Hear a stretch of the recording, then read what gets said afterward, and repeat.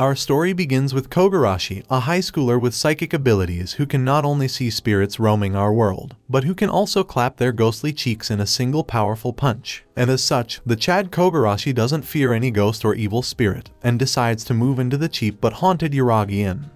But as soon as he gets comfortable in his new place, Kogarashi discovers that the inn isn't haunted by an evil spirit, but rather by the ghost of a high school girl who died there ages ago. And this ghost is understandably shocked to find that Kogarashi can not only see her, but he can see all of her. And for once, Kogarashi is the one who ends up clapped.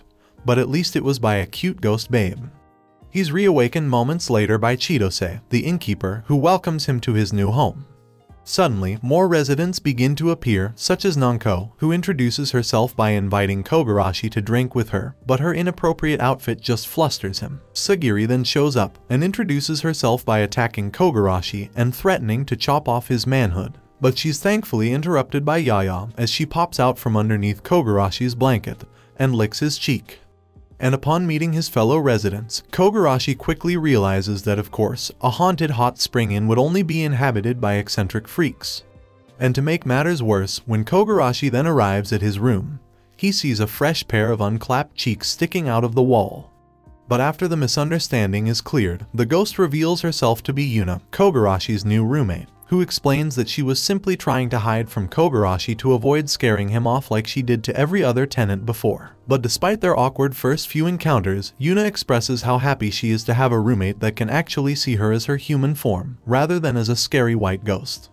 Meanwhile, Kogarashi thinks about how he can't exterminate a ghost as nice as Yuna, even though it's technically his job to do so. And Yuna reassures him that she has no intentions of cursing or tormenting him, as she's been alone for so long and is just grateful to have a human she can casually talk to. And with that, Kogarashi agrees to be Yuna's roommate, although he's a bit self-conscious about sharing a room with a beautiful girl.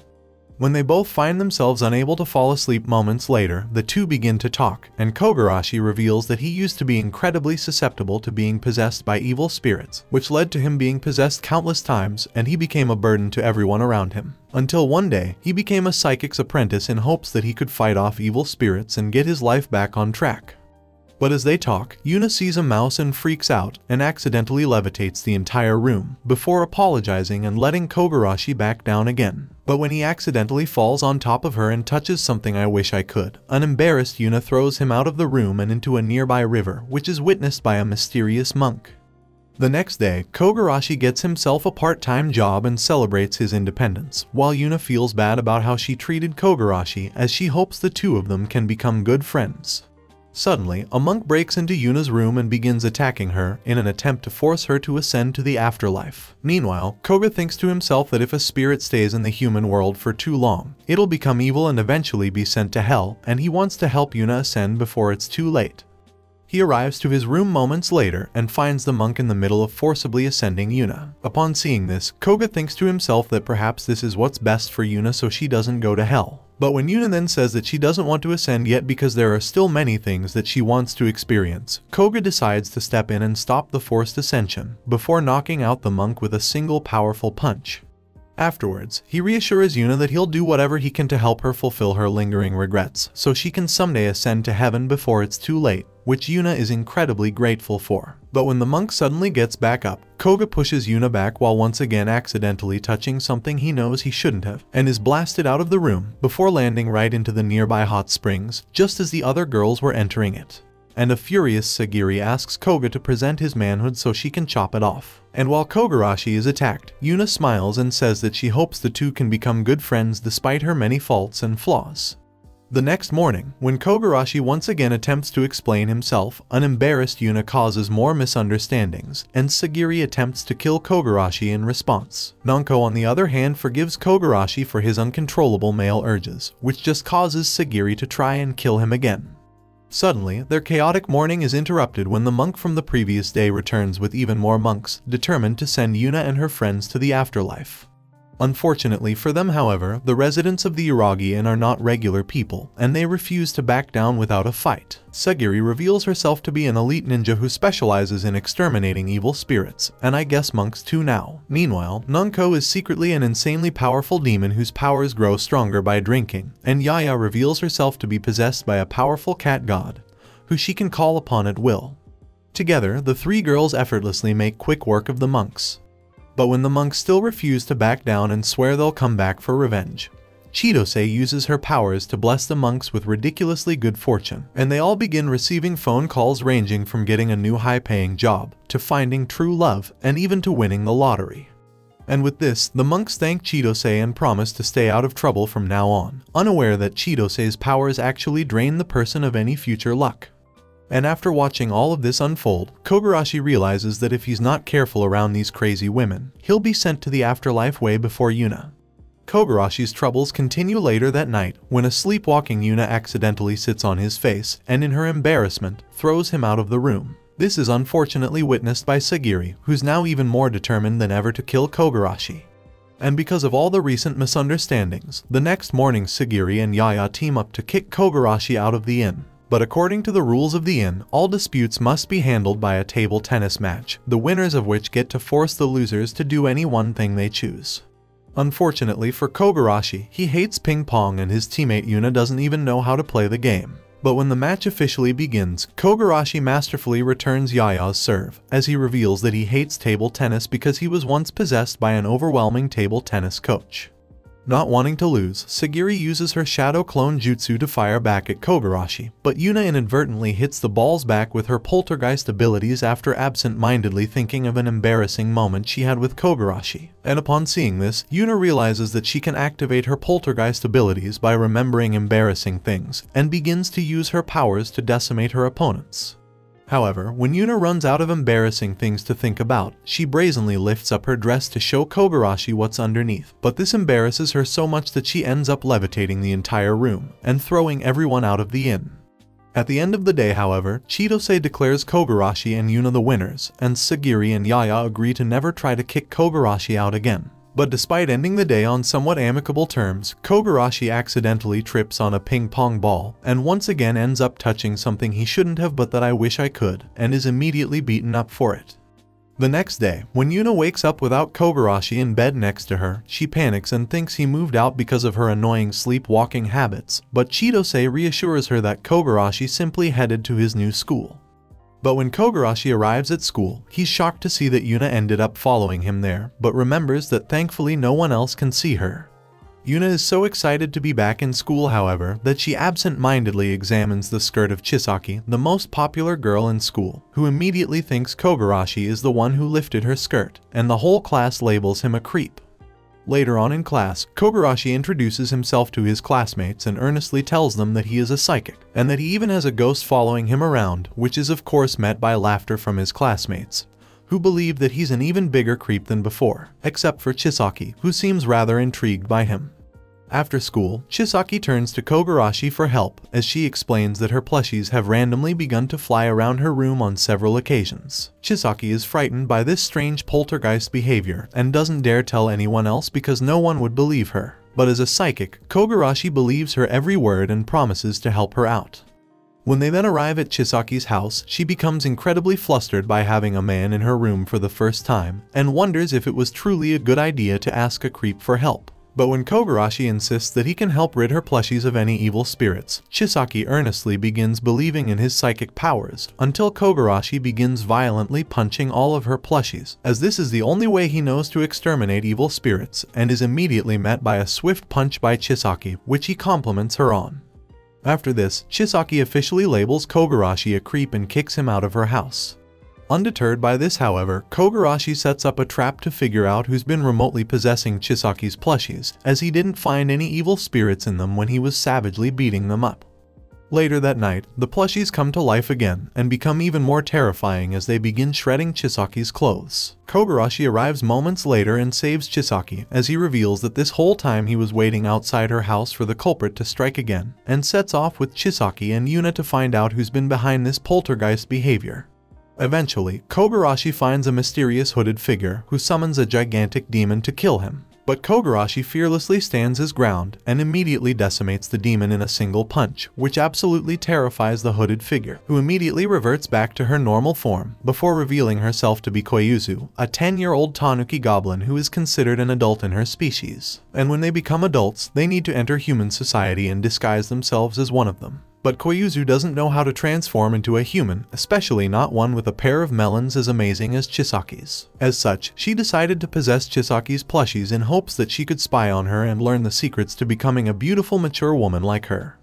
In response, Chisaki forgives Koyuzu and tells her that she'll gladly help her become a proper woman. But Koyuzu misunderstands this as an invitation to examine Chisaki's perfect milk buns, which of course embarrasses her greatly, while Kogarashi pretends to not have seen a thing. Fearing that Koyuzu would be dangerous out on her own, they take her back to the inn, where she quickly befriends the other girls and is mesmerized by their womanly traits too. The next day at school, Chisaki thanks Kogarashi for all his help, and thanks Yuna too, even though she can't see her. And from that day on, Chisaki and Kogarashi become good friends, as she's the only one of his classmates who actually believes he's a psychic. And much like Kogarashi, ninjas of Sagiri's clan are also psychics, and their job is to use their superior ninjutsu abilities to exterminate evil spirits. In her everyday life, however, Sagiri is just a normal girl who attends Kogarashi's high school, and hides her true ninja identity despite wearing a not-so-subtle shuriken hairpin and being a feared martial artist. But on one particular day, Sagiri informs Kogarashi that she needs his help in stopping an evil spirit that has recently been attacking couples. And while Kogarashi pretends to be Sagiri's boyfriend later that night, the monster eventually appears, but its attacks melt Sagiri and Kogarashi's clothes while they fight, which greatly embarrasses Sagiri. But as they continue to fight, Sagiri puts aside her embarrassment and creates an opening for Kogarashi, which he uses to finish off the monster in a single powerful blow, which fortunately for us destroys the remainder of Sagiri's clothes. Despite this, she's still grateful to Kogarashi for his help, and finds him to be a nice person, but gets embarrassed when she thinks about him again the next day. Sometime later, Chitose announces that she needs to be away from the inn for a while, and won't be able to cook their meals every day as she usually does. So while she's away, the others take turns cooking. Yaya is the first to try, but just serves a bunch of cat food. The second meal is taken care of by Nanko, who just buys a lot of beer and junk food. Yuna takes care of the third meal, and although her cooking looks amazing, she uses the wrong seasoning because she can't taste the ingredients, and her food is inedible. The overly confident Sagiri is then in charge of the fourth meal, but her cooking is so bad that she inadvertently poisons everyone. But when it's finally Kogarashi's turn, he serves exceptionally delicious grilled fish, which he learned to cook while being possessed by a master chef. Everyone is shocked by how delicious Kogarashi's cooking is, and as a result, Yaya begins following Kogarashi around everywhere he goes, even when he's taking a bath, in hopes of tasting his godlike fish again. To please her, Kogarashi decides to cook Yaya his delicious grilled fish again, only to find out that Yaya doesn't actually want to just eat it herself, but also wants to share this delicious fish with the cat god, who also absolutely adores it. At the end of the day, Yaya and Kogarashi become good friends, and she continues to occasionally follow Kogarashi around, which is a way for cats to express their affection. A few days later at school, Chisaki asks Kogarashi if it's possible for her to learn more about Yuna, the ghost he claims is following him. And since Yuna also wants a human friend, Kogarashi gives the girls the idea to communicate together using a notebook. And the two girls have a fun time writing to each other all throughout class. But when Chisaki asks Yuna where she lives, and Yuna replies that she lives and sleeps with Kogarashi, Chisaki becomes incredibly flustered. After class, Yuna apologizes to Chisaki for being the one who lifted her skirt up, and explains that she just wanted to examine her uniform. In response, Chisaki decides to take off her uniform so Yuna can get a better look at it. But Kogarashi then accidentally enters the room just as the girls are changing, and is immediately punished for it. Later on after school, Chisaki decides to take a picture with Yuna and is a bit disappointed when Yuna just looks like a terrifying ghost. But Chisaki then edits the photo to make Yuna look cute rather than scary, which brings Yuna a tremendous amount of joy, and the two become great friends. When Kogarashi and Yuna then return to the inn, Kogarashi learns that Nanko is actually a famous manga artist, and in order to help her meet her deadline, she has Kogarashi roleplay as her boyfriend for inspiration. So the two of them mimic what it's like to be high schoolers in love, while Nanko's editor takes pictures. But the more they roleplay, the more embarrassed Kogarashi gets, until he finally reaches his limit. At the end of the night, however, Nanko finishes her manga thanks to Kogarashi and explains how she surprisingly doesn't drink when drawing, and Kogarashi is surprised to see this more serious side of her.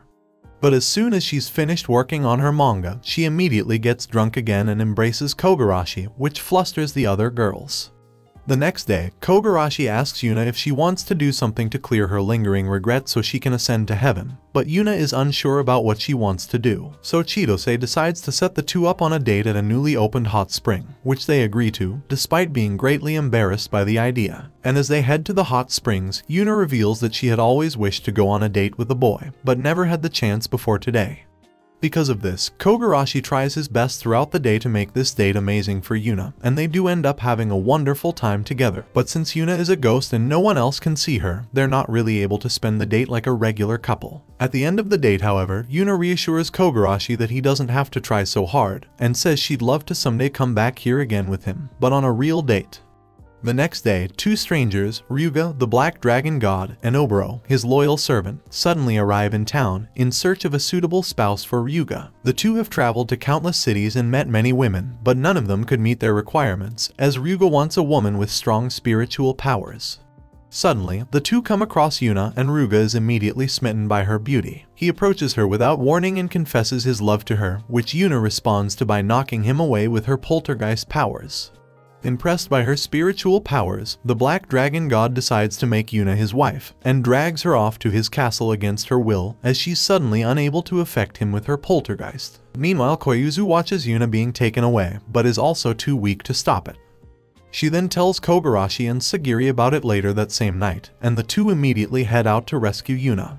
Meanwhile, Ryuga has Yuna cosplay various outfits for his enjoyment. At that same time, Kogarashi and Sagiri find the Dragon God's castle below a lake, but also find that there are many evil spirits guarding the place. Since the Dragon God is so powerful, Sagiri decides to use Kogarashi as a decoy to lure him out, while Sagiri and Koyuzu take this opportunity to secretly infiltrate the castle and rescue Yuna. But while Kogarashi is captured and beaten by Ryuga and his guards, he manages to buy time for Sagiri by lying to the dragon god about all the naughty fun he's had with Yuna, which makes Ryuga incredibly jealous. Meanwhile, Sagiri smoothly infiltrates the room where Yuna is held, and immediately begins to fight with Oboro. But despite just being the dragon god's servant, Oboro proves to be incredibly powerful too, and defeats Sagiri with relative ease. Oboro then tells her master that Sagiri's spiritual power is also very strong, and asks him to marry her as well, which he agrees to. Angered by this, Kogarashi provokes Ryuga by telling him that he went all the way with Yuna, which he responds to by unleashing his dragon god fury upon Kogarashi. But just as everyone thought he was dead, Kogarashi gets back up and punches the dragon god straight through the castle and far into the sky. Unable to accept the defeat of her master, Oboro attacks Kogarashi, who merely blocks and dodges her attacks as he refuses to hit a woman. Nanko and Yaya suddenly arrive however, and Nanko effortlessly subdues Oboro with her overwhelming demon strength. With no other choice, Oboro lets Yuna and Sagiri go free, but she's still determined to someday make the Dragon God family grow even stronger. The next day, Kogarashi wakes up only to find Oboro in his futon, asking to make a child with a strong warrior like him for the future of the Dragon God family, which greatly flusters both Kogarashi and Yuna. The following weekend, Chisaki decides to visit the inn so she can hang out with Yuna and Kogarashi, but since Kogarashi has to work at his part-time job, Chisaki ends up eating and spending the day with the other girls. But when Oboro overhears that Chisaki is very popular with the boys at her school, Oboro asks her for tips on seducing Kogarashi so she can make a baby with him, which Chisaki refuses to answer. And later that night, when Kogarashi returns from work and lays in bed next to Chisaki and the others, Oboro suddenly enters the room and tries to seduce Kogarashi again. But he tells her that he would only do those kinds of things with someone he loves. Upon hearing this, Chisaki, who's pretending to be asleep, thinks that Kogarashi is actually a good man.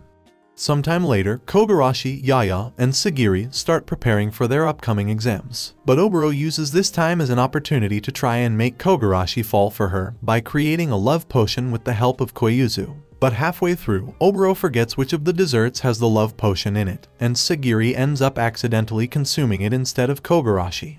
She then suddenly falls madly in love with him and pushes Kogarashi straight down as she confesses her love to him and although Kogarashi thinks Sagiri is very cute, he doesn't want to be intimate with her so suddenly and ultimately rejects her. A few minutes later, the potion's effect wears off, and an embarrassed Sagiri reflects on what just happened after locking herself in her room. During summer vacation a couple weeks later, everyone heads back to their hometowns except for Kogarashi, Yuna, Nanko, and Oboro, who instead decide to head to the beach together, where the lucky Kogarashi is forced to rub sunscreen lotion on the backs of Nanko and the other girls after they beg him to do it. But his luck quickly comes to an end when he touches something he shouldn't have, and is once again knocked away into the sky by Yuna, where he ends up seeing a ghost girl standing on a cliff. After doing some investigating, the gang learns that the ghost died in a car crash and is waiting for her dead lover to come and meet her. Wanting to help the ghost ascend to heaven, Yuna and Kogarashi decide to help the ghost girl by tracking down her lover and confronting him.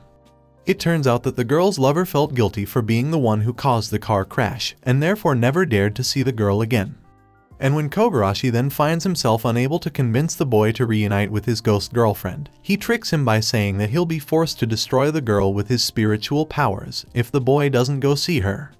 And due to this threat, the boy finally musters up the courage to reunite with the ghost girl, who immediately beats him up for being such a reckless driver and for taking so long to come see her again. But the two ultimately hug each other tightly and apologize to one another, fulfilling each other's lingering regrets and finally ascending to the afterlife and upon seeing the lovers fulfill their wishes, Kogarashi remembers that Yuna is still in the human world, and that her lingering regret also needs to be fulfilled. So he asks Yuna for details about her life when she was still alive. But Yuna says she doesn't remember as she's lost all her memories from that time.